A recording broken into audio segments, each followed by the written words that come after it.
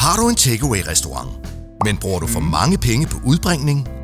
Er dine naboer og kunder trætte af for meget røg og støj? Så skift til den elektriske e-Cooter Delivery.